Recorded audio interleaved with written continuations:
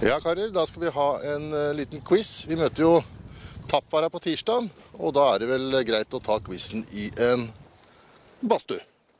Vi må jo bestemme hva taperen skal gjøre. Hva tenker du om å hoppe ut i vannet, Janne?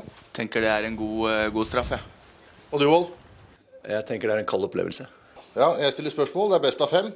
Hva heter hovedstaden i Finland? Janna. Janna svarer. Helsinki. Det er korrekt. Eller Helsingfors. hvilke land grenser Finland til? Ja. Janna igjen. Eh, Russland, Sverige og Norge. Det er korrekt. Hold, nummer du bringe av. Jan er fryktelig god i geografi, kjenner jeg. Hva heter Finland på finsk? Vidar. Suomi. Finland ble kalt de tusen sjøers land.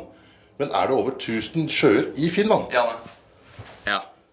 Det er det. Gratulerer, Janna. Du vant. Takk, det var forventa. Og Vidar? Var det alt? Er det ikke flere spørsmål? Herregud, dette er straff. Dette er straff. Grader er da? Grader er fire. Jeg har ikke bada Oslofjorden på tre år. Men jeg dypper bare. Herregud. Er du glad det gikk bra deg? Ja, det er fryktelig glad for at det der ikke var meg. Det er så kaldt ut. Hyvä.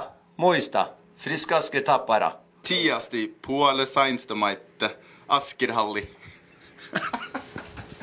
Finsk er vanskelig, altså.